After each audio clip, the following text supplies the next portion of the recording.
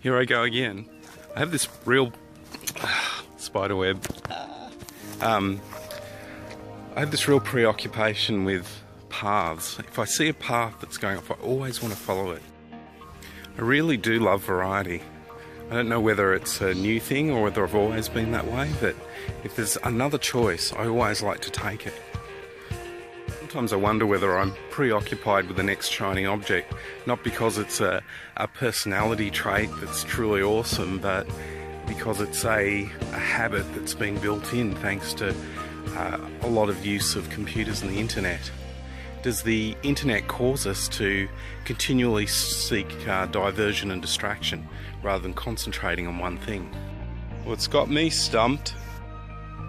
A great overview to the subject can be found in a book called The Shallows. But the book talks about how um, media over time is exponentially making attention spans shorter.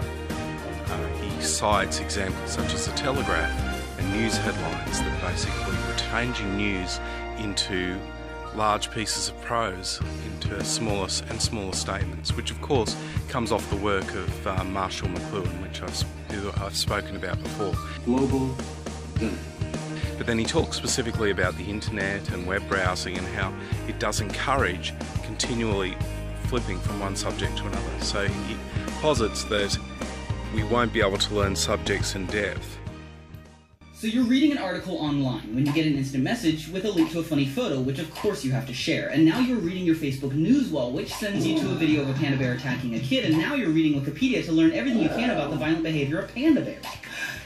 And this is what three minutes on the internet can be like.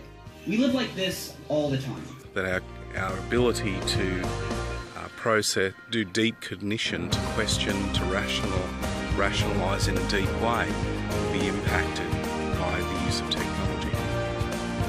Although I have seen evidence of this myself, if you look at um, social networking sites such as Twitter or the uh, notorious YouTube comment section, but I also see um, large pieces of prose being popular.